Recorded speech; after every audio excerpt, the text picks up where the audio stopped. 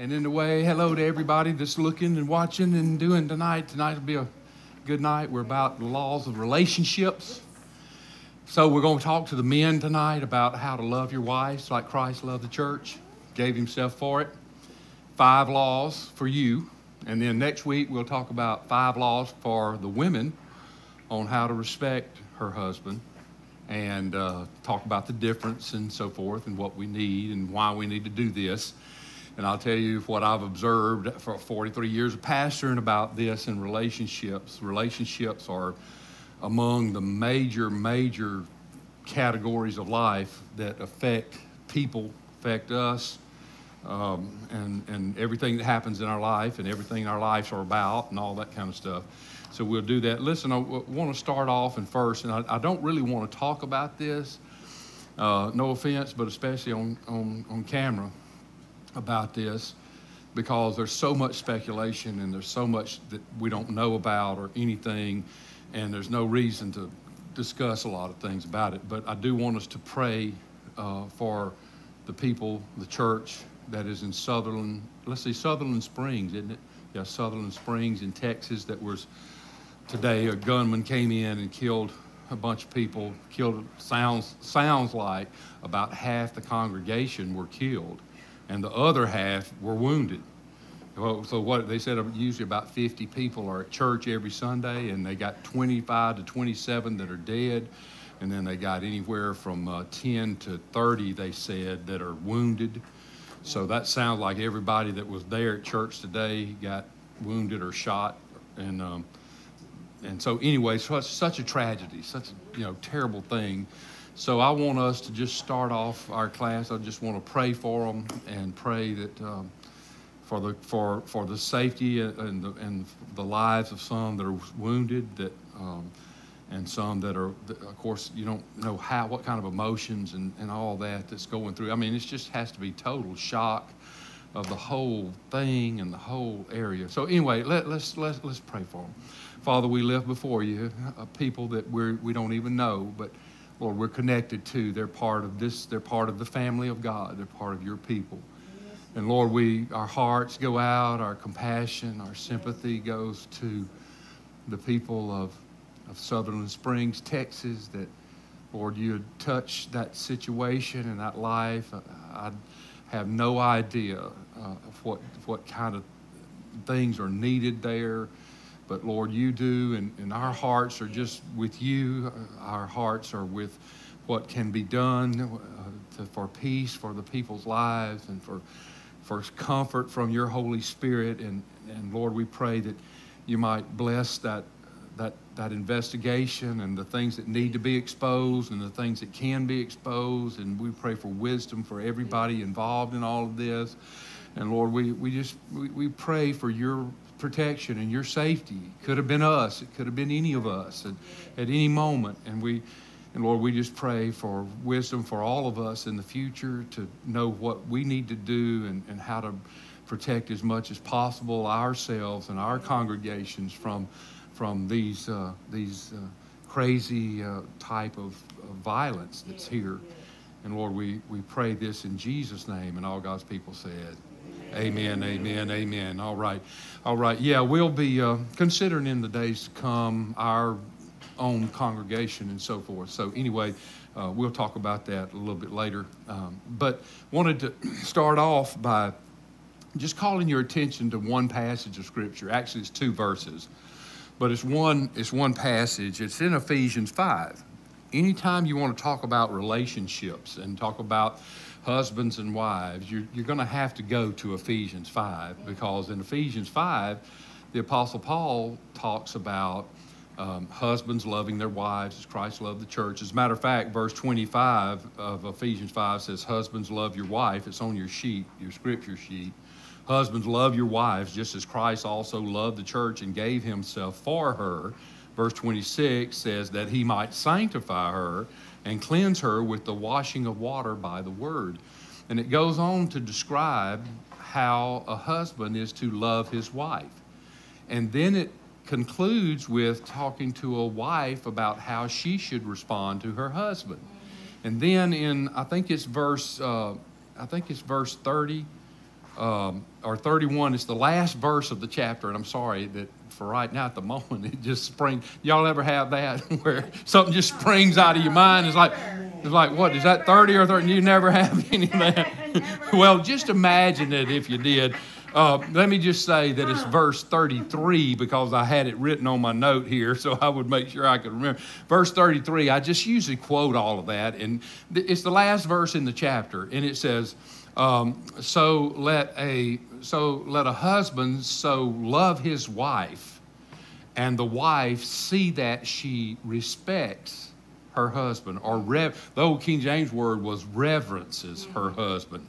So, according to the scripture, though, that, that's not just a little, um, a, a, little, um, oh, what would we call it? Um, uh, a little choice of words difference there is, is not the apostle's way of saying husbands love your wife and wife love your husband.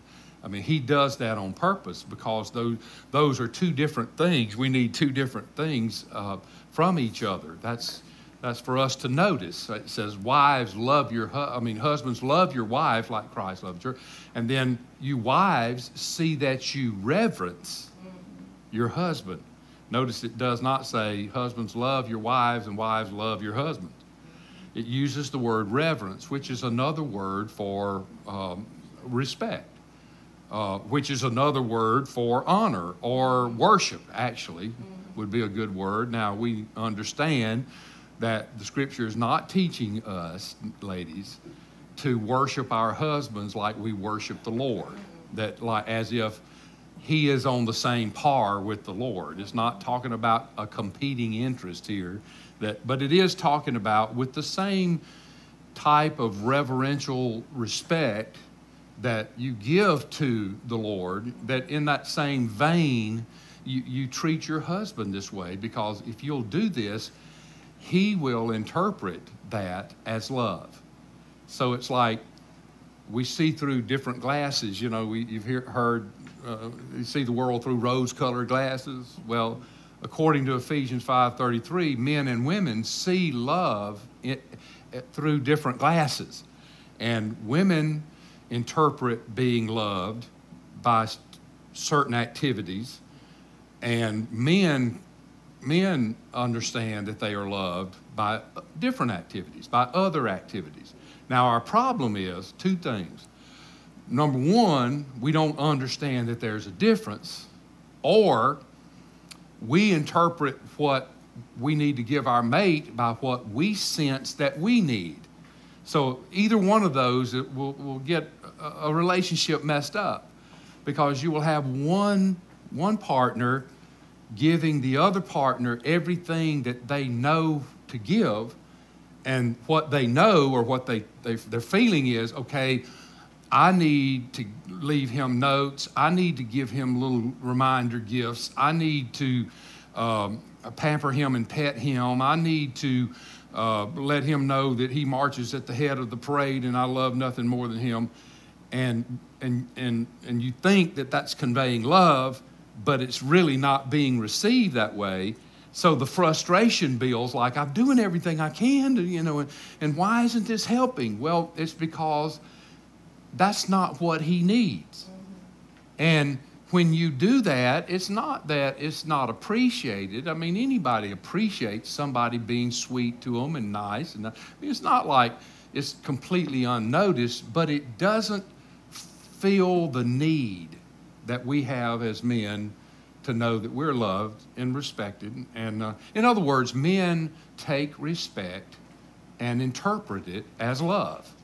When we're being respected, that's our, our life, our glasses that we're looking through are going, she loves me. She loves, you know.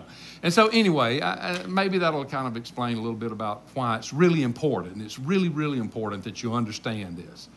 Because my testimony to you is after 43 years of pastoring and dealing with people and dealing with relationships uh, in the most intimate ways and in the most um, uh, passionate environments and, and, and disagreements and in the, in the depths of people's issues in life. I, my testimony to you is if you do not have these 10 things, you're not, you're not going to make it.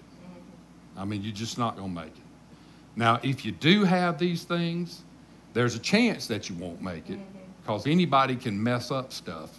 You know, anybody can take, I mean, you can take two people that really love each other and respect each other, and you can do things that so mess up this relationship that, it, that uh, only the Holy Spirit could put it back together again. So you can take some, you can take people who really share these 10 things and they can mess it up so bad that it can't be helped. But you, if, you, if you don't have these 10 things, no matter what you do, it's not going to help. I mean, you can be the best on a lot of other things in the world that you could possibly be, but it still ain't to work because the, this is the basis of a love relationship between uh, a man and a woman. This is what the scripture says. You know, Paul said to sum it all up in verse 33. To, husbands do this, blah, blah, blah, blah, blah, and then wives do this, blah, blah, blah, blah, blah. And then one verse at the end says, all right, now to sum it all up, uh, you husbands so love your wife as Christ loved the church, and you wives see that you respect your husbands. And he says, now that's the conclusion of everything. So it's really, really important. And, and I'm just saying that to you to say, all right, these five things that I'm about to share tonight are going to be talking to the men about how to show your wife that you love her. The verse says, You husbands, so love your wives as Christ loved the church and gave himself for her. And then it turns around and says, And you women, you, you respect your husband. So next week we'll be dealing with the five things that women can do to show their husbands their respect that he will interpret as love. When you do it, when you do it, the glasses that he's viewing life through will say, she, she loves me. I'm her man. You know, this is good. And he'll be built up by this. Uh, and it's going to be different than the five things you need in life to show that you are loved by your man. And um, now I know that everybody in here, you know, you have deep relationships. Many of you have been married many, many years. I know you have. I mean, uh, Tanya and I have been married 40 years. Uh, so we obviously have found the key to it, you know. and uh, some of you have been married 25 years, 27 years, 30 years, uh, you know, 40, some maybe even more than that. And you've obviously found the key to your relationships. Some of you are young, younger, and you're just getting started in relationships. And so these are going to be helpful to you, very helpful. Some of you that have been married a long time, even though you may have figured out what it is that you do with each other, you may not have been able to label it so that you could share it with some, other, some others that you love. Because you do have children and you have grandchildren and you have people in your life that you love and you'd love to be able to say, hey, uh, when they talk to you about, man, I don't know what in the world's going on with my marriage. It just seems good night. We can't just get going in the same direction. And mom, mama or granny or papa or whatever, you know, is, is what, I mean, what's the key? You guys have been married a long time. What is it that, that, that, that does that for you? And then you have some answers. You say, okay, here, here is what makes a marriage stable. This is what happens. And I guarantee you that those of you that have good love relationship, now I'm not talking about you living with somebody that you're just tolerating, which that can be so. You know it. You know I'm telling you the truth. You know that there are, there are many people that they live in relationship to each other because either they don't want to divorce from each other because it's too messy and it's too, you know, it just throws everything up and you're going to lose half your stuff or more than half your stuff. And, and we'll just live together and live in two separate bedrooms and we'll just be two ships passing in the night and we'll just keep this thing going even though it's not real anymore. Or you live in a loveless relationship where there's no passion, there's no love, there's no tenderness, there's no you know, give and flow. There's nothing that really concerns about each other, but but you've you just conveniently just kind of stay in it together. So I'm not saying that you can't stay in the same house with each other without having this. I'm just saying that you're not going to have the passionate love relationship that the Bible intends marriage to be uh, if you don't have these 10 things in your life. all right? And, and the more of these 10 things you have, the better. Like if you have a couple of men rules and a couple of women rules, you, you that might be enough to kind of keep things moving a little, but the more you add, the better it's going to get. And when you get all five of them moving in the same direction against all five, then you're going to have the basis. You're going to have the, the, the foundation for building a great love relationship so that you can be together 40 years, 50 years, 60 years, and, and still be passionate about, to each other. And by passionate, I'm not talking about like some wild Tarzan and Jane swinging from some tree somewhere, you know, uh, acting like teenagers, you know. I'm talking about, I'm talking about you can really love somebody deeply. They, you know, you can still have those goosebumps going up and down your spine. You can still light up when they come into the room. You know, you know what I mean? If you watch people that love each other, and you'll see that when one of them's in, like if one of them's in here and the and the other one comes through that door, they can they don't even have to see it. They can just sense that they're in the room, and they'll begin to look around. And when they look around, it's like their heart just kind of elevates just a little bit um, because you love them, mm-hmm. and and it matters. You know, it matters and that's what you want. That's the kind of relationship you want. Mm-hmm. Because as we all know, those of us that are older and been married a long time, been married a long time, I'm going to tell you something that's true. You know, uh, just like Proverbs says in Proverbs 31, beauty fades and passions get, you know, get are become different. And what what was the key interest in young marriages are not the same as older marriages, and it kind of goes away. And I think that you know what I'm talking about. Uh, there are stronger things than that. There are deeper things than that that hold us and keep us and make us secure and and and um, and fulfill our lives. I mean, it. My life right now, as a 62 61. How old am I? Anyway, I'm 61. I, am moving at 62 in March. Y'all don't forget that. Um, as, a, as that old of a person, um, I, can, I can tell you, you know, I'm, I'm, not, I'm not like I used to be. I, I used to be, you know, just a, a, a wild, uh, passionate, virile, testosterone filled, uh, normal male uh, whose life was focused in certain areas as far as uh, needs and desires and so forth. And, and, and now I'm, uh, I'm not driven by those same things. I mean, my life has moved on, you know.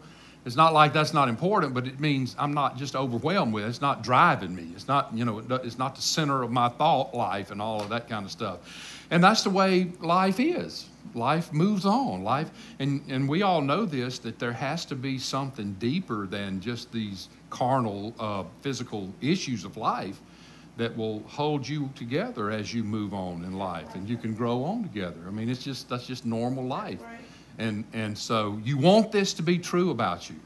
So how does this? How how can this be true? What can you do? What is what is the key to this? And I'm just saying that these five rules for men and these five rules for women, they're not, they're not the only thing, but they are the major things that really every relationship has to have and every relationship needs. So let's just go in here and let's talk to the men about how to love your wives as Christ loved the church. What would you need to do? You say, okay, what do I do? Do every day I get home, do I walk in and say, I love you, I love you, you know I love you.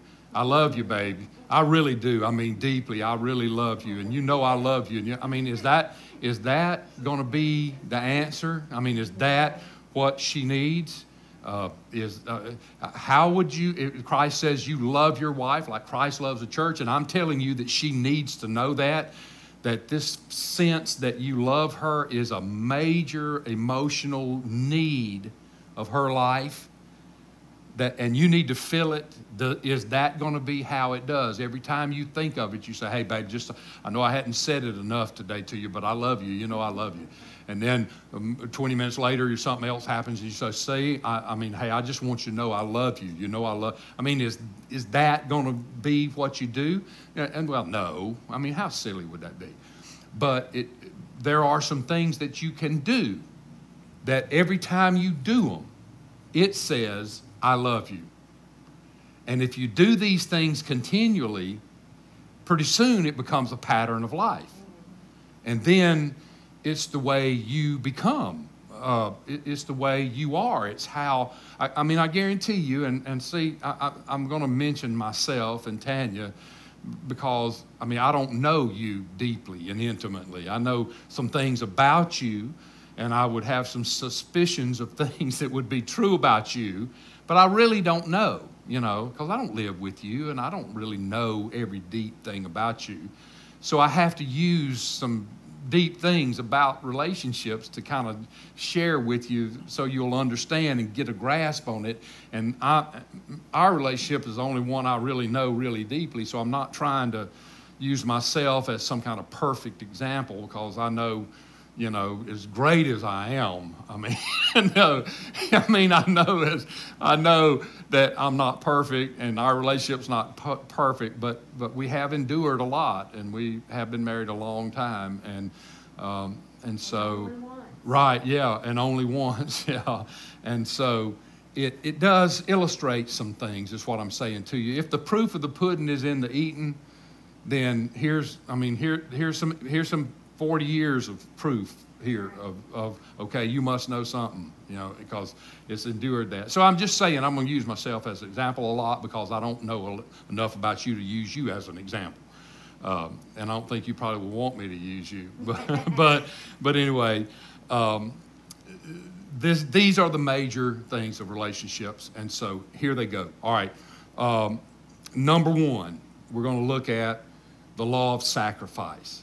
So, husbands, the number, uh, uh, the number one law for you to fulfill the commandment that Paul says in Ephesians 5 that you are to love your wife like Christ loves the church is to fulfill the law of sacrifice. The law of sacrifice. What, what did Jesus do to show the church that he loved the church so deeply. What did he actually do to prove that? Well, right, right. He, Paul says it. Husbands, love your wife like Christ loved the church mm-hmm. and gave himself for her. So Paul says that the number one way, men, we can show our wives that we love her is to convince her and persuade her every day we live that we are willing to die for her as quickly as we would draw our next breath. What did Jesus do for the church? He died for the church. He was willing to sacrifice himself in order for the church to live. And so Paul is saying, Men, your wife must know. You must convince her. You must show her by your actions, by your words, by, by your thoughts, by, by whatever means possible, that you would be willing to die for her as quickly as you would draw your next breath. So it's really like a firefighter or like a soldier or like a police officer who, who they, these people take oaths that say, I'm, I'm willing to die to protect the, the citizenry of, of this community. And when you quote your marriage vow, that you will love her, you will honor her, you will cherish her, that you'll be a true and faithful husband, that you will cleave only to her so long as you both shall live, and you say, I do. You are, that's an oath. That's a commitment. You are saying, I'm going to I mean, I, I'm willing to sacrifice myself and willing to do whatever it takes to protect, to provide for, and to spiritually be responsible for her so long as we both shall live. And you say, I do. Because the role of a man in life for his family, what are the three things that God says or shows us in the scripture that a husband is to be? Why, do God, why, do, why does God put a man in the life of a woman and draw them together and they produce children that populate the earth and that recreate the, another husband and another wife and they get together and they populate and they replenish? I mean, why, does, why is that? What is, what is the husband's responsibility? To protect, yep, to, right, to provide for his family, and that doesn't mean a wife can't work, but it means he takes responsibility. It means he makes sure that happens. If somebody, if he needs to get a second job, he does. If he needs to train himself with better skills so he can get a better job and make more money, he does. Um, if he needs to seek uh, other employment and try to better himself and get more skills and all that, he does that. Uh, he's int- he, he wants to be the best provider that he can possibly be. So he keeps pushing toward being able to provide for his family. And he's the protector of his family, which means that anything that comes against his family, and I mean anything that comes against his family, something that comes over the internet, he's going to be sensitive to that and he's going to notice that in the kids and he's going to say boy what you watching at night on that phone you got? Give me that phone and keep them you know so they can't go in their bedroom and get under the covers and watch whatever is on the internet. I mean the dad should be the one that goes in there and says give me that. You know, you should be paying attention to what happens with their friends. And if somebody that's a bad influence or is creating havoc in their life, then that you say that he's got to go. You never to have anything to do with that. Your dad's a good detective. Dad pays attention. Dad knows their children enough to know that something's wrong. He notices some kind of little misfires and okay, come here, son. What's wrong? What's happening? Tell me. You got to, you know. I mean, these are. This is the protector of your home. You would protect your home if somebody came to your door, rang your doorbell, knocked on your door, and was standing there with a shotgun. You wouldn't let that sucker in. You would go get your gun, and as soon as the door opened, boom, you know, or shoot through the. I mean, you you wouldn't you wouldn't just say open up and say, hey, come on in and kill my family come on in and you know i'm not going to do anything and you can come in here and hold us hostage and you know molest my family and my wife no no you wouldn't do that but that's what happens over these internet issues. You're letting some creep, some pervert in to your house, and he's killing your children. He's killing your family. He's probably uh, uh, using obscene issues and so forth to, to ruin their minds and to take them captive and all of that. So, in, in other words, Dad, you got to know, you're the one that's got to notice that. Don't make your wife be the pr- protector of your home.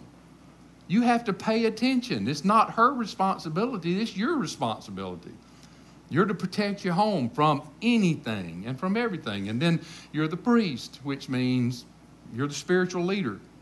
Don't make your wife be the spiritual person in the family. Don't force her to be the one that gets everybody up on Sunday and says, It's time to go to church. And they go, Oh, I don't want to go. And the wife has to be the one, Get up out of that bed. We're going to church. And keep hounding people. And you laying there in your bed about half asleep, acting like it doesn't matter and, and making her be the, be the heavy and be the one that says, you, you know, uh, you get, did you study your Bible? Do you know what we're doing today? Did you pray? Did you, I mean, she, that's not her responsibility. That's your responsibility. And God holds you responsible. And so when you fulfill your responsibility as the husband and you take the responsibility of the, of the being the man of this family, and you uh, do the things that you should do, that God has created you to do, that is a way of saying to your wife, I, I, I, I, I will sacrifice myself for you as quickly as I would draw my next breath. And whatever comes against your family, you're the first one. You're the first responder to everything. I don't care what it is. If it, uh, I'll give you one example, and, and Lord bless her soul, I still don't know why this happened, but as an example, my mother um, and I love my mother to death. My mother's with the Lord now. She passed away when she was 79 years old, um, about about eight or nine years ago. Uh, and my mama, for some reason, I was pastoring a church in, in Meridian for, for 14 years. My mother came. My mother was my mother went everywhere I went. I don't care if I preached revivals or services. If she could possibly go, if it wasn't a limited congregation like a youth rally or something, my mother would be sitting on the first or second row every time I spoke. I, only Tanya's heard me preach more often than my mama did. My mama loved me. My mama supported me. My mama just was go to the ends of the earth for me. But for one, some reason, I don't know why, but one Wednesday night, um, I was I went home. I, we had a service, and and I went home, and my mama was there, and uh, there was some kind of uh, confrontation with Tanya about I don't know what. It was like Mama just went off the, the deep end or something, and she she said some snarky things and some you know uh, some sarcastically spiteful things to Tanya, as if somehow Tanya did something and now she's, you know, she's being disrespectful totally. It's like, you know, just out of the blue and all that. And so they didn't want to tell me when, when I got home, but I could tell something was wrong. And I, see, that's what I'm talking about. You have to pay attention. Mm-hmm. You have to know something is wrong, even when they won't tell you what it is. And you can say, Look, babe, I know something's wrong. What is it? What? And after about 30 minutes of kind of saying, Look, you got to talk to me about it because I look, I know something's wrong. You're not, you're not acting normal. You're not, you, what happened? And, and finally, after about 30 minutes of me badgering her, she finally admitted, she said, Well, she said, I don't really know what happened, but your mother, you know, after church tonight, uh, I went up and said, hey, how you doing? And it's good to, you know, just like I normally do. And she kind of started saying some snarky, insulting kind of things as if somehow I did something to her. And she was talking, saying this. And I said, well, did you do anything? Was there any truth in that? And she said, well, no, not that. I don't know what it could be about. And so as soon as she told me that, I got on the phone and I talked to Mama. It was about 9 o'clock, 9.30 at night. And I called her and I said, Mama, I said, you know, I finally got this out of Tanya and tell and, and she and you said this and this and this and just tell me, all right, what's that all about? What what what's going on here? And she tried to she didn't really try to make any kind of excuses. She just immediately started apologizing about it and all that kind of stuff. And I said, Look, I said, is this an issue? Do we need to, I said, do I need to come over to the house or we need to get this straight? Because, I mean, this, you, you, you're not going to be able to talk to Tanya like this. You're not going to be able to do this with her. So, do I need to come over there? Do we need to get something straightened out? Is this going to be an issue, or what is it that we need to do? And she said, No. And I said, Well, all right, well, listen, this is what you need to do. The next time you're in her presence, you need to apologize for acting the way you acted against her because there's no reason for you to do that. And she said, I will. I'm so sorry. You know, I didn't, I don't, I don't know what went wrong with my crazy self and all this. And anyway, and she did it, and that was the end of it. Once she, I mean, that was, it was over with. Never really got brought up again all the rest of the time. You know, t- the next 10, 15 years, it never got brought up again because it was over with and it was done with. But what I'm saying is, that that's my mama who loved me. All right, even though that's my mama, I, I'm still protective of my wife. My wife is my first my first love. My first when I said I I will love you, I will honor you, I will cherish you, I will be your mate, I will not seek after another one. You're the only one in my life for the rest of my life. I would die for you as soon as I draw my next breath. That means against anything. Against the kids. You know, I know that there are a lot of uh, there are a lot of families where the kids are like exalted above everything. That's unbiblical. That's not scriptural. You were a family before you had children. Before you had children, as a husband and wife, you are one and you are, you are a family in yourself. And you bring children into the family. Okay great. That's a responsibility and you're to be responsible for your children. But you get dads you can't love your children more than you love your wife. You cannot make her feel that way like you, you can't let her think that the children mean more to you than she means to you. If, it, if you do, it's going to undermine your marriage. It's going to undercut her security, which means that she's going to feel insecure, and that's going to take and remove some things from her that she needs. She needs to know that she marches at the head of your parade and that nothing that you love nothing more than her. You don't love your job more than you love her. You don't love the kids more than you love her. You don't love your family your mama more than you love her. There's nothing in your life that will take precedence over her. She is number one numero uno in your life.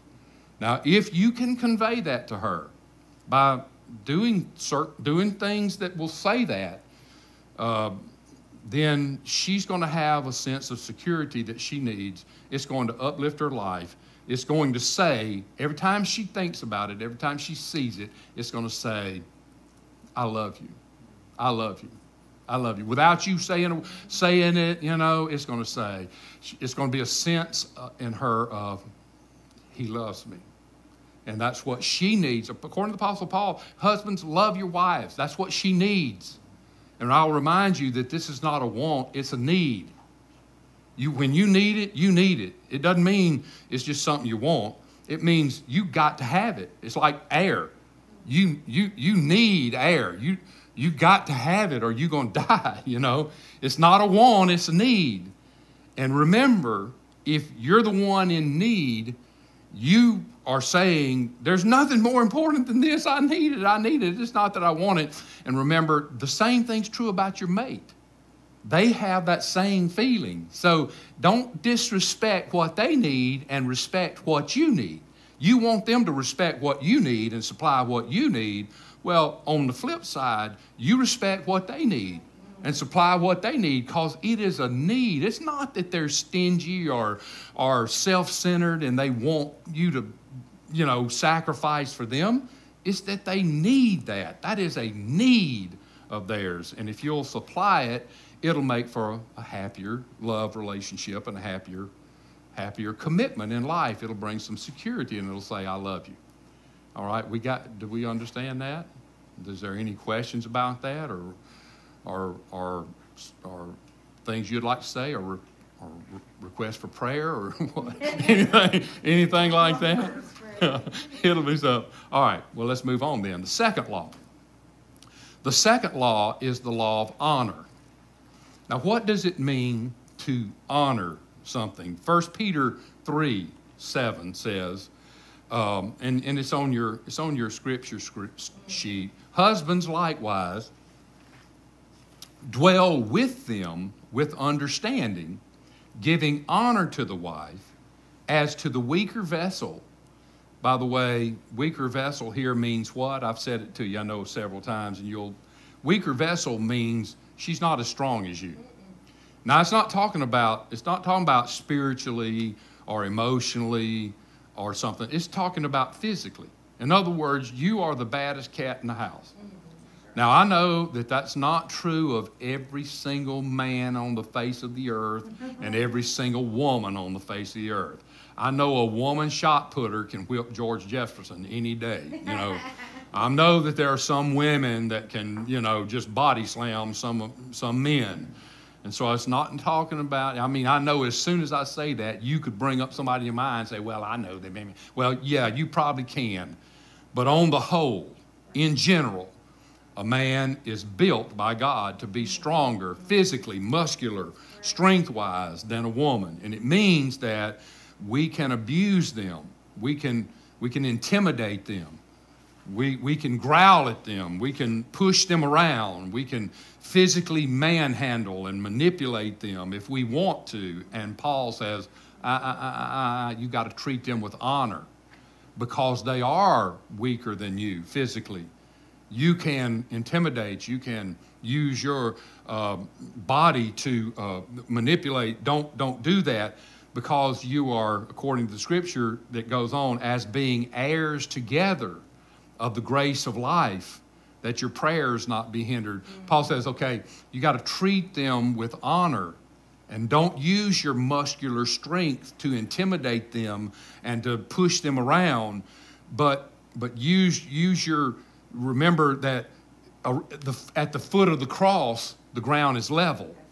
That in the eyes of God, you are not more, you are not superior to her. You and you and her, you're together at the foot of the cross. The ground is level at the foot of the cross. Remember that, and remember that if you want if you want your prayers to be answered, you're going to have to treat her with honor. So what does that mean? And, and notice that it didn't say that to wives. It didn't say, you wives, you got to treat with honor your man. I mean, it's just talking to the husbands, and it says, guys, you're going to have the tendency to be the, the baddest growl in the house. You, you're going to have your tendency to be the, to be the, uh, the papa bear and the growler and the intimidator and the, and, the, and the one that can talk the loudest and be the strongest. You got the deepest voice in the house. You got the most power in the house. And you're going to have the tendency at times to exalt this and use this like a weapon. If you do that, your prayers aren't going to be answered because that's a no no in the eyes of God. You don't do that because if you do that, you're disrespecting and dishonoring your wife. So he says, Honor your wife. What does it mean to honor? Well, to honor means to be exalted, it means to lift something up, it means to treat something with value. So, what is this saying? Well, it's saying, all right, you husbands, you're going to have to set your wife on a pedestal. Means you're going to have to lift her up as something that is highly valued, something that's highly honored. I mean, what, what do you do with, with very uh, expensive stuff or very precious stuff in your life or something that you value with, with honor, what do you do with it? Well, you protect it, right? You put it in a safe place or, or you put it on the mantle if it's something that you want to see and you want everybody to see it. And, and you want to, and when they walk in the house, it's going to be something that they go, hey man, what's that right there? I see that? And then you can brag on it. You can, you can say, boy, this is really something. This is what happened, and this is a picture of me and so and so, or this is a trophy from so and so. I mean, in, in, in other words, um, you, you set something apart, you, you, you put it up as being special. That's what, that's what honoring means. Now, the, the, the, the passage that shows you a little bit about why we need to honor our wives is, and I know I've mentioned it, I know it, probably others have mentioned it, Proverbs 31. Proverbs 31. Have any of you read Proverbs 31? It's the, it's the salute to a virtuous wife, a virtuous woman. By virtuous, it means um, um, a respected, an honorable wife. It means somebody that, that seeks the best for her family. Have you, have you ever read any of that? Yeah, li- listen to this. I, I mean, I don't, uh, uh, I just, I really just copied this out of, out of the scripture. This is out of the Message Bible. Listen to just a, a few, few lines of this, and you can see what the Bible considers to be an honorable wife that, is, that could be put on a pedestal. Listen to this. A good woman is hard to find. This is Proverbs 31, verse 10. Listen to this. A good woman is hard to find and worth far more than diamonds. Her husband trusts her without reserve and never has a reason to regret it. Never spiteful, she treats him generously all her life long. She shops around for the best yarns and cottons and enjoys knitting and sewing. She's like a trading ship that sails to a faraway place and brings back exotic surprises. She's up before dawn preparing breakfast for her family and organizing her day. She looks over a field and buys it. Then, with the money she's put aside, she plants a garden. First thing in the morning, she dresses for work, rolls up her sleeve, eager to get started. She senses the worth of her work. She's in no hurry to call it quits for the day.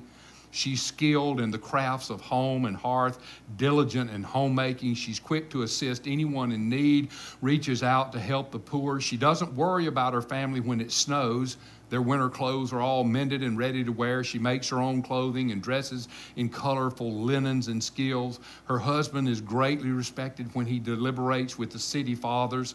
She groans, she grows and sells them, brings the sweaters she knits to the dress shop. Her clothes are well made and elegant, and she always faces tomorrow with a smile.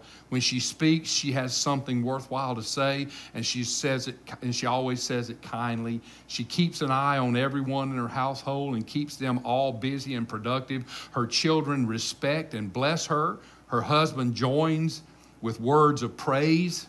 Many women have done wonderful things, but you've outclassed them all. Charm can mislead, and beauty soon fades. The woman to be admired and praised is the woman who lives in the fear of God. Give her everything she deserves and cover her life with praises. That's Proverbs 31. That's, that right there is the description of a great wife, a great woman in life, in, a, in the life of her family. Now, the, the, the scripture is telling us here that she deser- a woman like that deserves to be honored and to be respected by her husband. Practically, how can you do this? Now, practically, I'm talking about how can you show this? Here, here's one way. Seriously. Give her the best. Give her the best. Now, everybody can't afford everything in the world. I know that. I know a lot of families struggle because their finances are really, really tight and they have to use less than you know less than new kind of deals but but just practically speaking uh, give her the best automobile you drive the junk i mean don't see that you give her the best it says i love you you're special I don't want you to break down on the side road. If anybody breaks down, I want it to be me. So I'm going to give you the one, the low mileage. I'm going to give you the one that has the best tires. I'm going to give you the one that that that is that is more likely to be uh, uh, capable, and I'm gonna I'm gonna take the junk in life. You know, I'm gonna I'm gonna honor you. Give her the best clothes. You don't dress like a million dollar stud in life, and she wears raggedy stuff and doesn't have. I mean, give her she, let her clothes be the pretty clothes, and you you just you wear the blue jeans. You take the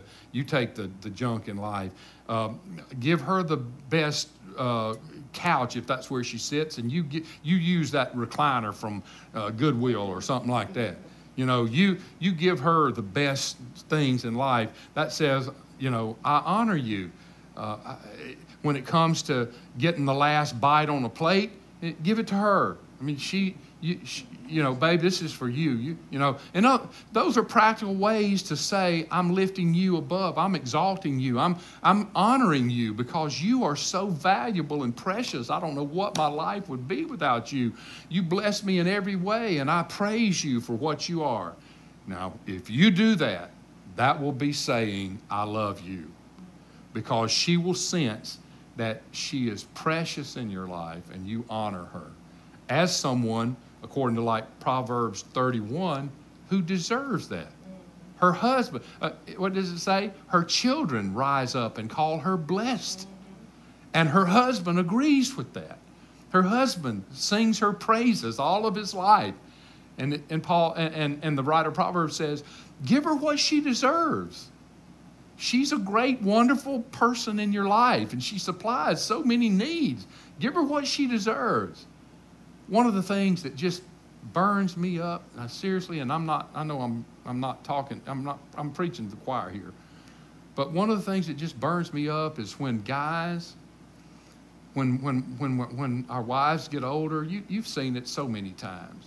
Our wives get older, and these husbands who have something to be attractive to younger women, either they're powerful or they have money or or they have some prestige, and younger women looking for security will be attracted to them because the younger women say they can make my life secure, you know, and then and then and then he thinks, you know, that that means he's like, you know, attractive, and then he leaves this one that's sacrificed her life for him for 40 years, who's given her best years of her life, her attractive years, her years when somebody else might want her when she could be, you know, productive and capable and now she's older and she you know she she's she's maybe a little more fragile and she she's going to she she doesn't you know she doesn't have her youth anymore and now he is going to leave her for some younger chick that he thinks is going to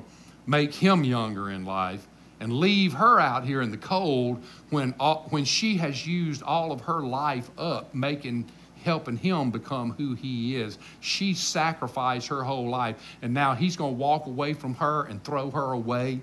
Who's going to want her? I mean, listen, tell me, who's going to want a 50 year old, a 55 year old woman who's, you know, who's older and she maybe has not a lot of skills because she's been at home with the kids and she's reared the kids and she's she hasn't been able to go to school because she didn't have time because she's got to rear her family so she's not educated. She can't make a lot of money. She can't provide a lot of income and stuff like that. And who's what what are you doing? You're throwing her away when she doesn't have the ability to now become capable for herself because she's given her best years to you and you're so reckless and careless and thoughtless and wicked and carnal and self-centered that you're going to throw her away because you're going to be attracted to somebody that you think will make you feel better about yourself. That, that's just, I'm telling you, that is the most evil thing that I can possibly think of somebody in the world doing. That is no honor. That is dishonoring everything about your wife and your relationship. So uh, honor your wives. Law number two. Number, law number one, I'm sacrificing. I, I say, you march ahead and I'll die for you as quick as I'll draw my next breath. You let her know that every day. She's going to be strengthened. You put her on the pedestal and you give her the best and you honor her. You respect her. You, you, you say, You're the most valuable thing in the world to me and I couldn't live without you. And every time you, she sees that, she's going to say, Gosh, man, my man loves me. And the older she gets, the more you ought to do that because she becomes more insecure as she gets older. It's just a fact. God has built women with a little bit of insecurity built into you. I guarantee you, no matter how capable you are, no matter how productive you are, you can be the chairman of the board, women, of something in this world, and you can have a little bit of insecurity inside of you that always is saying, Does my man love me? Am I valuable? Am I pretty? You know, does he want me? Does he still care about me? Does he still love me? Because God has built you with a little tinge of insecurity, and He's built men with a tinge of maybe even overconfidence, you know? And so, like magnetic dogs on a refrigerator opposite track, boom, here we got the relationship. See? God's a genius. I'm, I'm serious. God, how do you get two beings that are so totally different to stay together? Well, you, you build them with, with things they need from each other and magnetic, you know, dog on, here we go, you know, and, you, and you're to stick together. And God knows that. So he builds women with a little insecurity, builds men with a little overconfidence maybe in life, and presto, boom, you got, you got attraction. And so you honor your wives. All right, is there anything about that that you feel like we need to discuss? Anybody want to argue with it or anything or be, be about that? All right. All right. Well, then, moving along quickly, we're going to move to. Uh, I hear you, Bill. Go ahead. Go ahead, brother. I've lived it, so I'm learning, I've learned better or whatever. Right. To protect and provide. Right. All that stuff. And I can't help but think about praise, Mm-hmm. you know, Mm-hmm. people need to be praised. No, Right. You know what I'm I do know it. Yeah. Lifted up, like you said, but, you know, how you doing nice today, I'm glad you're a good housewife, I'm Right. you're a good cook. Which is the You next all those things. next law, actually. You're right. See, you way ahead of the game, man. Had to learn more. You had to learn the hard way. Well, praise the Lord. I'm, I'm sure all of these guys in here have already know this. You, you've already learned this. Mm-hmm. Not wrong, just different. Not wrong, just different. That's right. That's right. I need to do that one, one Sunday night or one Sun, whatever. But anyway, it's uh, that's a challenging word. Um, husband law number three. Bill, Billy just spoke and led right into it. It's the law of affirmation. To affirm Uh, Ephesians 5, uh, 25 and 26. Let me read it again, and then I want to go in a direction off of 26 so, so you can see to, that affirmation, that to affirm, to speak positively is what it means. To, to create worth, to speak to value, to uplift someone. That's what to affirm them means, to lift them up, uh, brag on them what it pretty much let them know how valuable they are with the words you speak. Ephesians 5 25 and 26, listen to it again. Husbands, love your wives just as Christ loved the church and gave herself gave himself for her. Very next verse, 26, that he might sanctify and cleanse her. How? By the washing of water, last little phrase, by the word. And the word, it, it does, it's not capitalized. So it's not talking about the, the Word of God. It's not talking about the Bible. By the washing of water by the Word. So small w. So what he's saying is, husbands, how do you sanctify them? How do you uh, wash them with, uh, with water uh, uh representing um, you, you, you, you cleanse them and you, and you uh, strengthen them and you, and you motivate them. How do you do that? By the word, by what you say out of your mouth. Because women are created by God to be um, stimulated by what they hear. Women are stimulated more by what they hear, and men are stimulated by what they see. Now, this is a genius of God. This also creates vulnerabilities. You know, the enemy takes what we really need and tries to use that against us so he can entice us and draw us away. So, this is why pornography is so prevalent for men. This is why pornography is such a trap for men. Because the devil has taken a natural need in our life to be stimulated by what we see and he's put these images before us that get burned into our brain by, by uh, testosterone and all brain chemicals to look at these things that are beautiful and attractive and sexy and stimulating and all of that kind of stuff. And even when we're a young child that barely has gone through puberty and we can see these images, they stick in our brains because that chemical just burns it into us. And then we live a life thinking that that's normal. So when we, as our wives get older and, and they don't look like that anymore, and they're not, then all of a sudden we begin to kind of lose a little uh, uh, uh, uh ability or desire to, to, to see them because we got this little craziness burned into our brain that says this is how women are supposed to look and this is how life and then it just creates a downward spiral. See this is the this is the assault of the enemy. Why why is that true? Because god built us men to be to be enticed by what we see. So that's why it's so crazy. Now women you are built to be enticed by what you hear. In other words guys if you want to uh, uh, entice her, if you want to uh, create in her a desire, God says the way you do that is talk to her. And He gives us an example. Uh, I know that some of you have read it with me the book of Song of Solomon. The book of Song of Solomon is the biblical form of pornography. I, I mean, I don't, and I'm not saying that disrespectful. I'm just saying that the, the Jewish people, the Jewish moms and dads would not allow their children to read the book Song of Solomon until after they were bar mitzvahed. In other words, when they're bar mitzvahed, they're considered an adult. And the Jewish parents would not allow their children to read the Song of Solomon until after they were bar mitzvahed, which tells you that they say, this is for adults only. This is adult literature. And when you read the Song of Solomon, if you ever have, you will find yourself saying, Wow, I did not know the Bible would say these things. It's Solomon's way of describing relationships between men and women. And what the book is about is the book is about a young prince, a young a virile man, and he's loved by a, a beautiful maiden, and they're separated from each other and the maiden goes through the city calling out for the young man. And the Bible, and, and, and what's noticeable about it is uh, when she talks, she says, I love his voice. I love the sound of his voice. My beloved calls me from the. In other words, everything she says she's looking for concerns something she hears.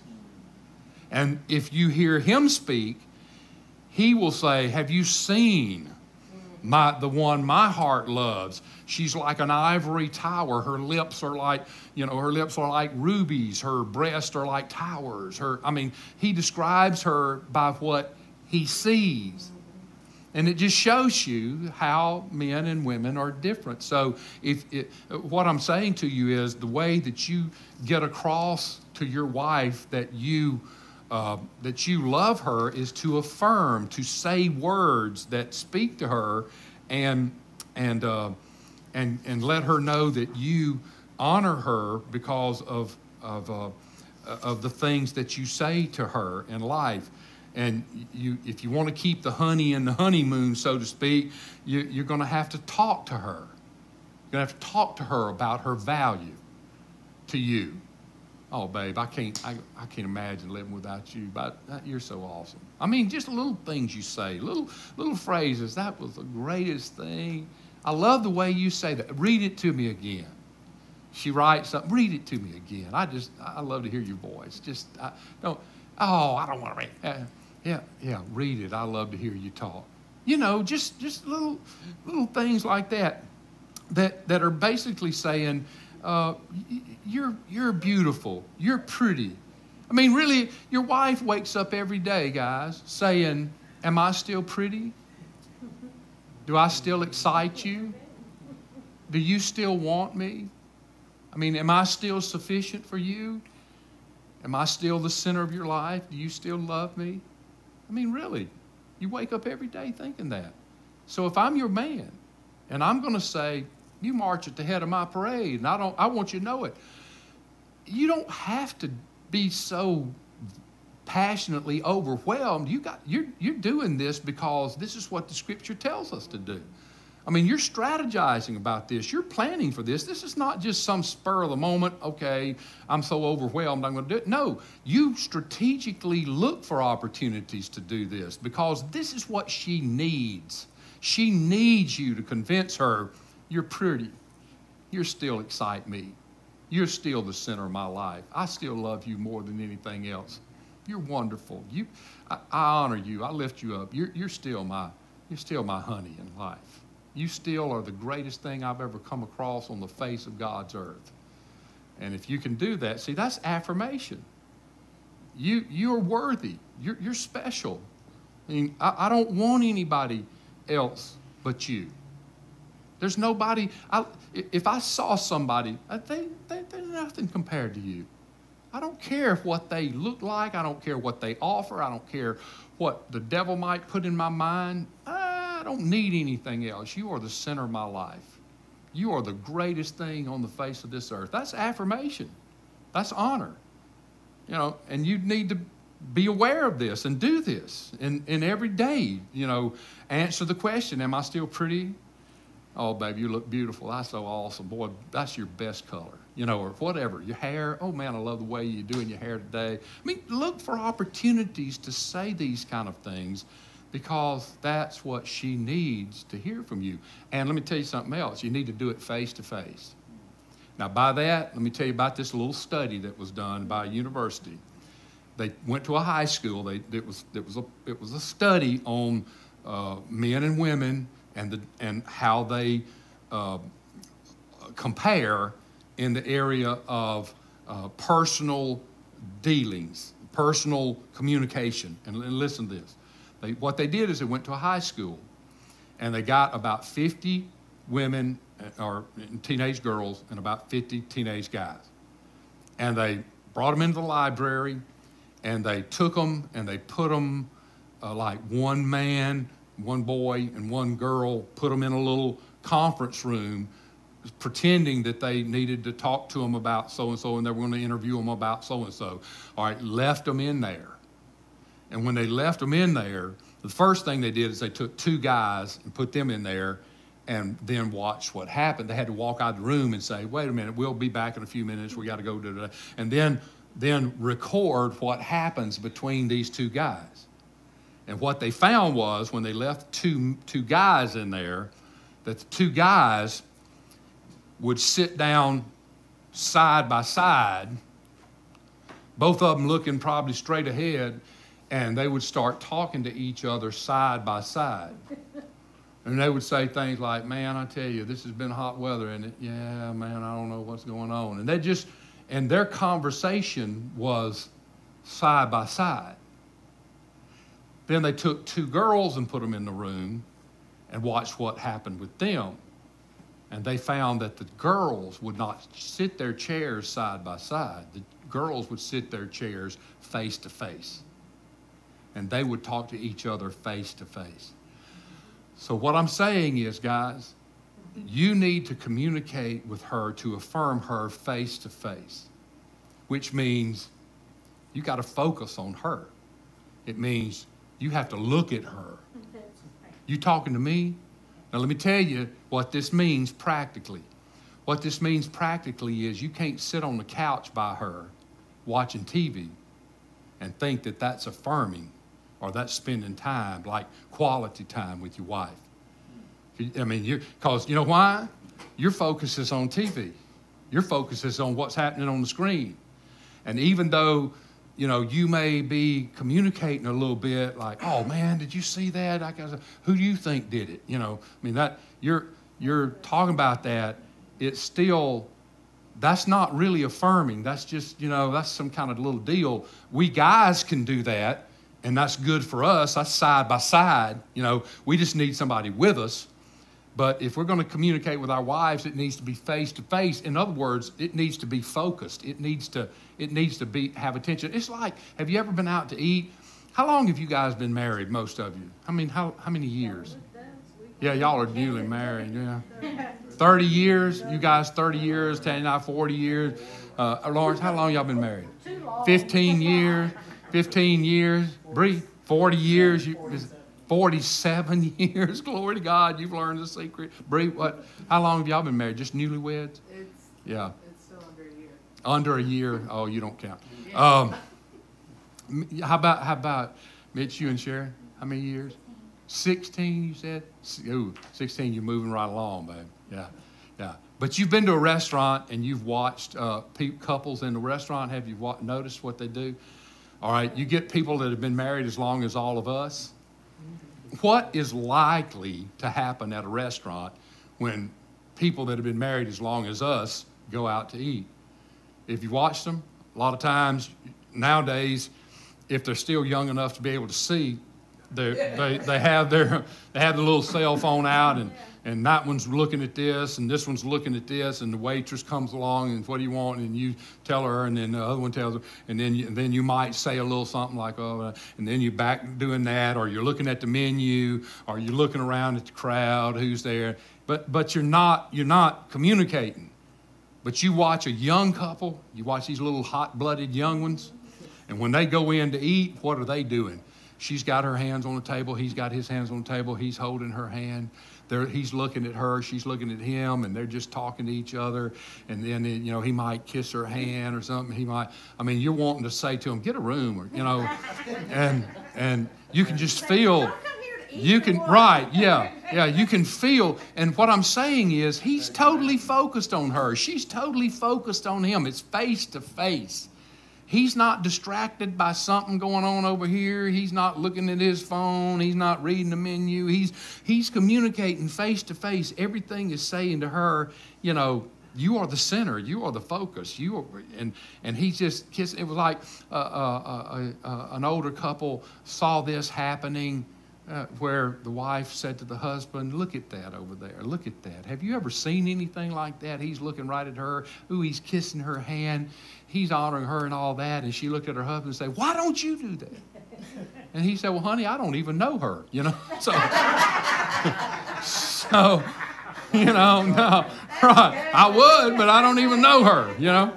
But no, I'm just saying. I'm just saying to you that, you know, that is the that is the law of affirmation. And to affirm her, you have to focus on her. I, this is not something you can do from the from, you're in the bathroom and she's in the bedroom and you say, "Oh, by the way, you know you're the greatest, right?"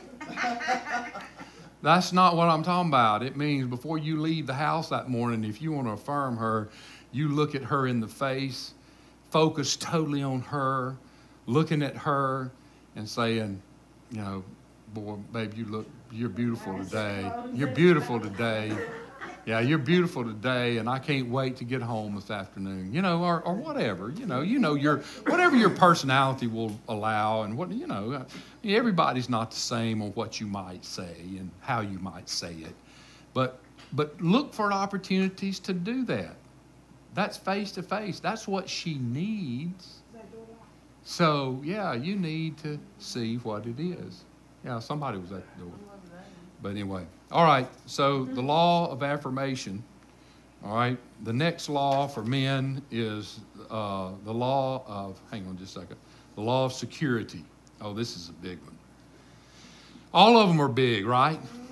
The law of sacrifice, the law of honor, the law of affirmation. All right. So how do we show our wives we love them? Um, we die for as quickly as we draw our next breath. You need to communicate that every day uh, or as often as you possibly can. The law of honor means I, I, elevate her, I put her up in my life. The law of affirmation means I communicate face to face every day that you are great, that you are awesome, that you are honorable. So there you go. And then number four for the law for men is the law of security. Law of security. I talked about this just a just a little bit a while ago, but just kind of take this thing a little bit further. In the book of Ruth, are you guys familiar with the book of Ruth? Yep. The book of Ruth in the Bible is a story about a, a Hebrew woman that has been taken by her husband to a foreign land. And this and her husband, and they have two children, two boys, and they name one of them sickly and they name the other one pining which, yeah, Mahlon and the other one is I can't remember exactly. And who? Yeah, Chilion, Mahlon and Chilion, which means one means sickly and the other means pining. Uh, that's real love. Yeah, that's real love. And then the husband dies in this foreign land, and this Hebrew wife now is alone with no husband in a foreign land with two boys that are sickly and pining. And these two boys then die, so there's no males to provide for her. So she says, I'm going back home, I'm going back to Israel, and I have some relatives back there, and I, I, I'm, I'm getting old and I need to, to get away from all of this. And, and so she says, I'm going back. Well, she has a young maiden that is her servant girl, and her name is Ruth. And Ruth says to her that famous statement that gets quoted at weddings all the time whenever, whenever she looks at her, when Naomi is her name. When Naomi looks at her and says, Hey, I'm going back home, and she says, You need to stay here with your people because I have no more sons and I don't have anything to offer you and even if I had a son right now, it would take time for him to grow up. So are you going to wait for him? Are you going to, you know, you wouldn't, you're, you'd be too old once he got old enough to marry you. So you need to stay here, let your people take care of you. You're still young and attractive. You can still attract a man. So I'm going to go. I'm going to go back to my people because I'm old and I don't have any skills, and I need somebody to try to help take care of me. And I'm going back home, let my family, you know, get my family and try to. And and and you need to stay here. And Ruth is one of the girls. She has two of these two of these young servant girls and the other one says, Okay, you're right, I'm going to stay here. But Ruth looks at her, and Ruth says, Wherever you go, I'm going. Your people will be my people, and your God will be my God. And whatever happens to you is going to happen to me. And I promise to stay with you, and I'm not going to leave you because I realize my future is tied to you.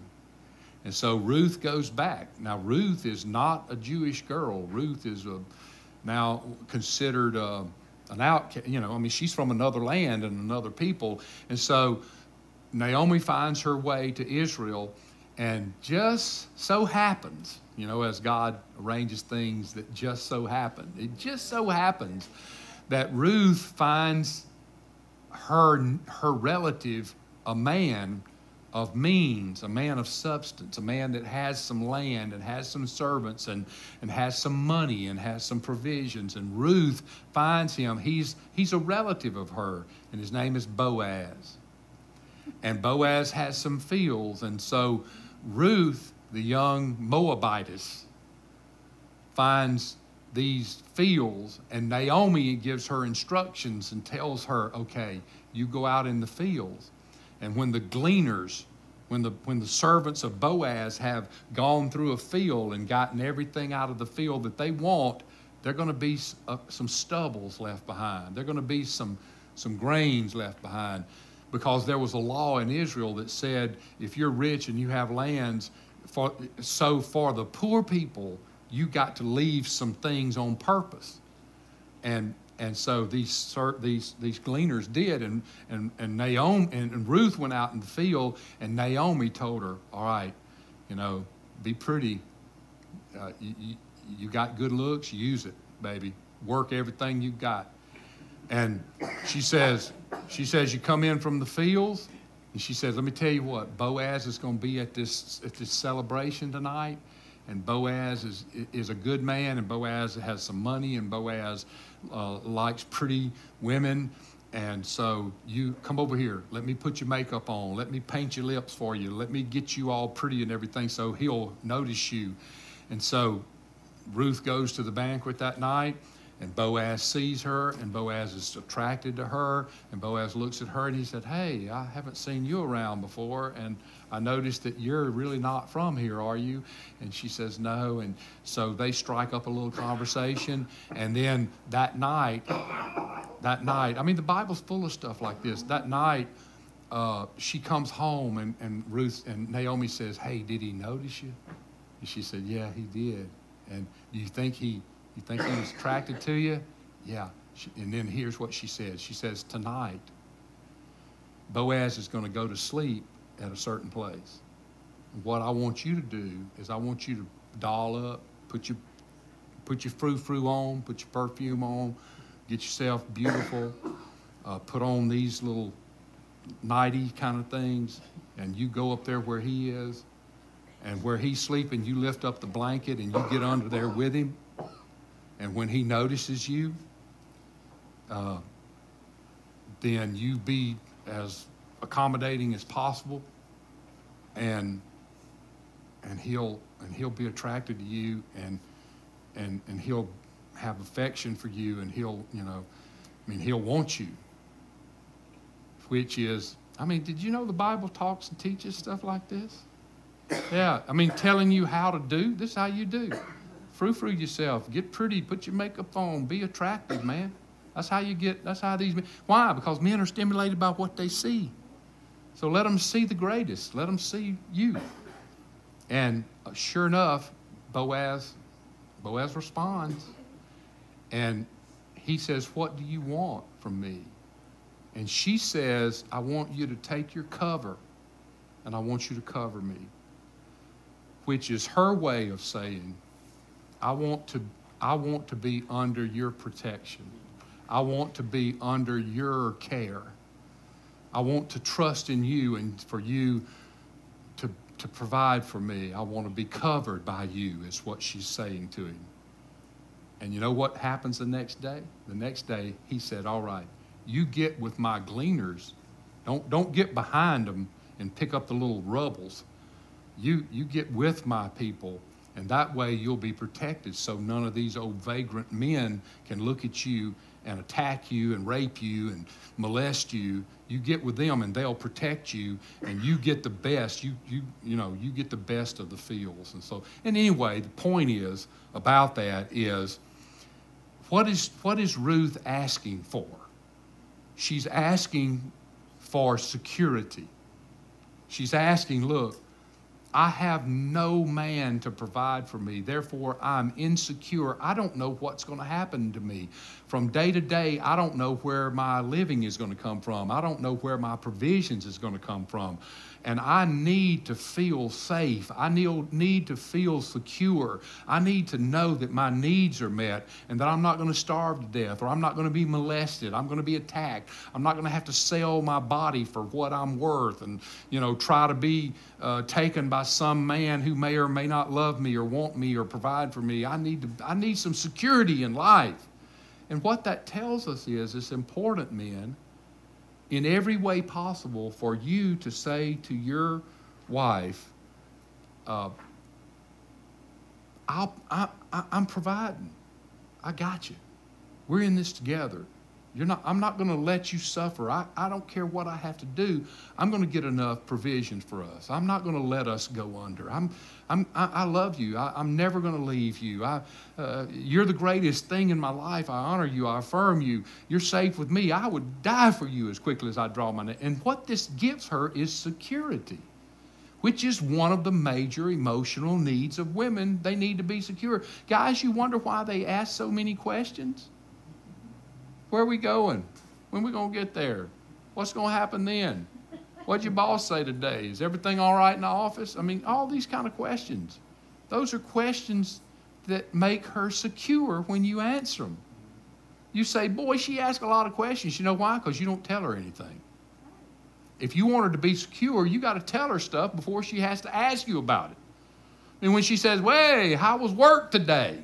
What's your answer? Fine. You think you've totally explained everything by that one word, fine.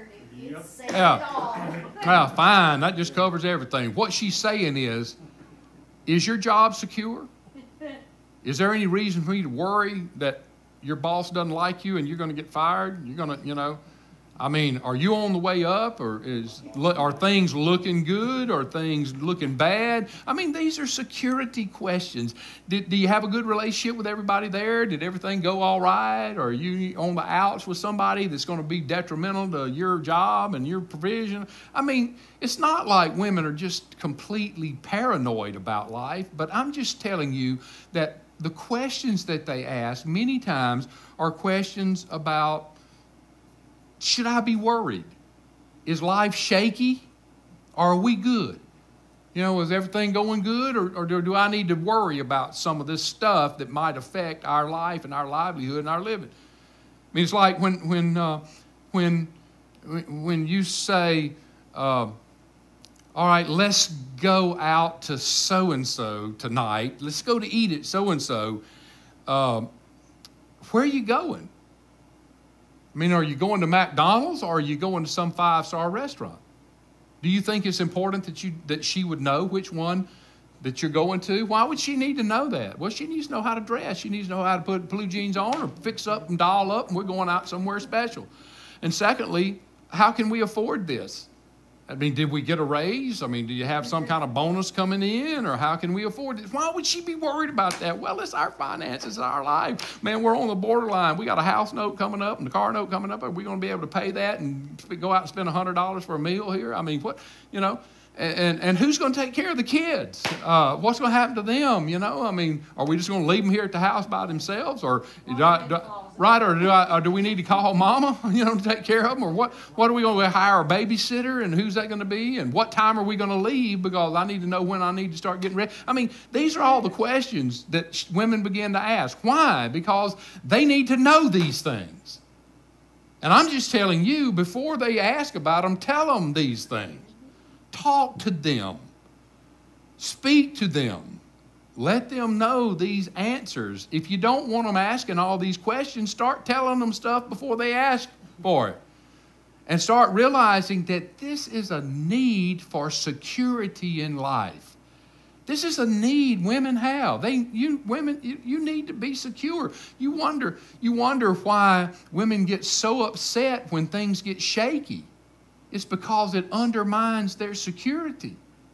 And of course, they're going to be nervous. They're going to be anxious. They're going to be filled with anxiety because this is saying, "Oh no, is our what's happening to us? Are we going to fumble, fumble, fall? We're going, we're going to make it? I mean, is this going to be a major tragedy? I mean, come on. Do, I mean, do I need to get a job? Do you know what are we? What's happening here? And I mean, this undermines the security of a wife. And according to the Word, men, it's our responsibility to meet that need and make them know that everything's okay. We're secure, we're stable. Hey, don't worry about it. We got it. We're on the good. Things are being provided for. Um, we're being capable. Uh, I'm thinking about our future. Uh, all this stuff I've, I've planned and I know where we are. I know what we can afford. I know what we're doing. And I, I just want you to come on out because uh, you deserve it. You know, you, we deserve a, a little time away, you know, from the kids. Don't take the kids everywhere you go. Leave those critters at home, you know. I mean, you can't have an intimate dinner when you've got them with you all the time. I mean, look, look, understand that. I mean, if you want to be uh, honored, loved, exalted, respected, and so forth, you got to play your part too. You got to say, I mean, you can't take little diversions with you everywhere you go. You got to, I mean, how could you, how could you be intimate with, with, with a little crying baby at your side? That, that child's a year old. You think it can't survive a couple of hours without you? You need to separate yourself from that. And you need to say to your husband, You're more valuable to me than this one is. And he needs to know that. You want him to meet your needs, you got to meet some needs in his life too. And so, anyway, we'll talk about that next week. But we're talking about how you can help. So, okay. So, we got the law of sacrifice, got the law of honor, we got the law of affirmation, and then we've got the law of, uh, of, of, um, of, of security. And then now the, the last law for men is the law of excitement. Law of excitement. What, you know what this law means? Put a little hot sauce on it. It means, uh, look, you, you, need some, you need some spice in your life sometime because life can get, you know, life, there, life can become a, a drudgery. I mean, just think about the, the laws of, I mean, the, the daily lives of some women. What, what does it involve? Well, it involves uh, a routine, and a routine of taking care of the children, uh, fixing the meals, washing the clothes, um, sweeping the house. I mean, making everything nice and attractive and fluffing the pillows and, and taking care of the kids going to school, getting the homework up, doing, I mean, the, the routine. Working a full time job, yeah. In other words, the life of your wife can become mundane, it can become routine. And, and the scripture says guys, it's our responsibility to, to put a little excitement in there, fluff it up a little bit, pour a little hot sauce on it, surprise her, you know, uh, be, be spontaneous on some stuff. Uh, do some stuff just because you know she needs a, a little a little lift, a little pick me up in life, a little happy, you know. Now, the thought of this comes from one of the miracles that Jesus did. The first miracle that Jesus did. Let me share it with you, you'll remember it. The first miracle that Jesus ever performed was at a wedding, the wedding in Cana of Galilee. And the, at that wedding, they gave out of wine. You remember this? And the mother of Jesus, Mary, was there. And Mary came to Jesus, and Mary said, Son, they have run out of wine. And Jesus says, uh, What is that to me? Mine hour is not yet come. In other words, it's not time for me to, to expose myself to, to the fact that I can do miracles, you know.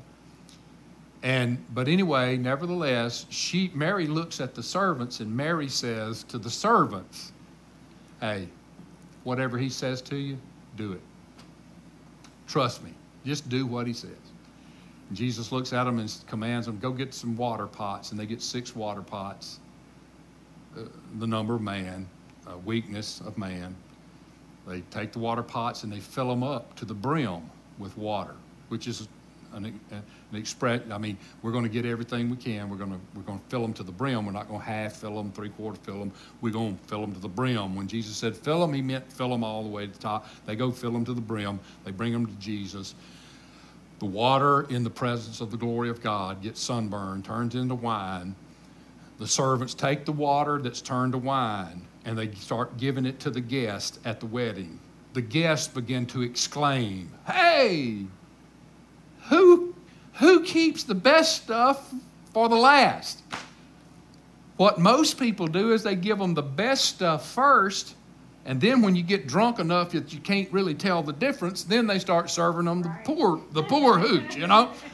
So, but you have served us the poor stuff to start with, and now you've saved the best to last which is an illustration of a lot of things about God that He gives us the best, and He gives, and the st- stuff that God gives is so, is the best, and, and and it's at the end of things we get the best of life. But anyway, the point being that what did Jesus do at that wedding? Jesus spiced it up.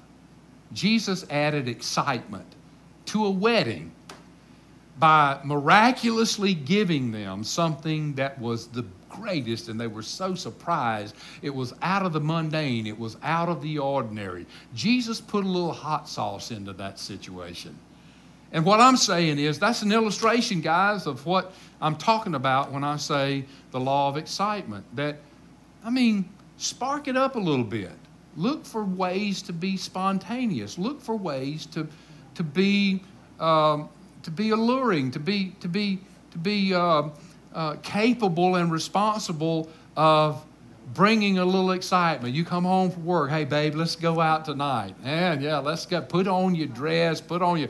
We going we gonna paint the town, baby. We going we going all out tonight. You know, or we're going to walk on the beach. Let's go down and let's go down to the beach. You know, we hadn't been down there in a long time. Come on, yeah, put you yeah, put your flip flops on. Let's walk in the sand. Let's go down there to the beach. Or, I mean, it doesn't have to be something expensive. It can be just something that's you know different in life. Or you know, we're going to go and let's go let's go down to one of the let's go down one of the casinos and walk in the room and let's go to ballroom and dance or let's go to a show or what i mean you know i mean it just it, in other words do something that's not typical for you. That's a little bit out of the out of the flow of everything so that uh, you can make life more enjoyable really is what it boils down to. That you can say i don't want you to be i don't want you to get in caught in the drudgery of life i want you to, to have the best i want you to enjoy life are you happy being my wife? Or is our life happy? Are you satisfied? I mean, I need I want to know if there's anything I can do to make life better for you. But but I'm going to try my best to to give you a reason to be excited today. You get something to look forward to. Tell them in the morning, hey, uh, when I get home from work this afternoon, we're going to do this, or we're going to, and look for ways, look for different things you can do. And like I said, they don't, it's not that they're expensive. It's not that, you know, you do some big costly thing. It's just that you do something out of the ordinary. I mean, you know, we're to, we're to go, we're to ride around, we're to look at, at, at, at the place where we might want our next house, you know. And then you ride around, you talk to them, man, it's going to be something, isn't it? We're going to get us this, and this is going to be where we live, and we're going to want something like that. I mean, whatever it is, you know the personality of your mate. You know what they need. You know, you know what excites them. Uh, and, and you do that, use it. And so that's the law of excitement. And when you do that, um, the wife perceives that as love. That when she's looking through her glasses, her glasses say, He loves me. I march at the head of his parade. Oh, he's so committed to me. Life is good. I'm, I'm stable. We're stable. We're secure. He doesn't want anybody else but me. He thinks I'm the greatest. He lifts me up. He doesn't want anybody but me. He's not attracted to all these frou-frou women around him. I mean, think a lot of men are surrounded every day by women who are at their best. You know, they look the best, they smell the best, they got their hair fixed, they got their makeup on, they got the, you know, and they're presenting the best side of them. And that's the people he works around all day long. And you can feel a little bit intimidated by that sometimes, maybe. You know, you can say, well, I mean, I know he's got beautiful this and beautiful that. And, and do I, do I, am I, do he, do I still excite him? Do I still, do I still fulfill his needs? You know, I mean, is his glass full? Is he attracted to somebody else? No, no. See, all of that undermines, undermines your relationship. And, the, and God says, guys, it's up to you to convince them that that's not true and that they march at the head of your parade and that your life revolves around them. Just like you promised when you married them. You made a commitment, an oath, and uh, God expects us to fulfill it. All right, is there any observation about that or any, uh, any questions or any points you'd like to make about any of that? Or does that kind of get through to you? Does that, does that kind of say you? Okay, now you see, with that right there, guys, those five things right there. If you do those five things, you're going to give your marriage the best chance to be successful. But you see now why I said if you don't do these things, no matter how passionate or how skilled uh, your marriage seems to be at the moment, it, over a long period, it's not going to endure because those five things I just named are completely needed by women. Not just wanted, but needed. A need is a need, and it must be supplied. And God says, guys, it's your responsibility to do this. So love your wives like Christ loved the church and gave himself for her. That's our responsibility. Okay? Okay, no no words, no observations, no request for prayer, no. okay. All right, let's stand. We'll be dismissed.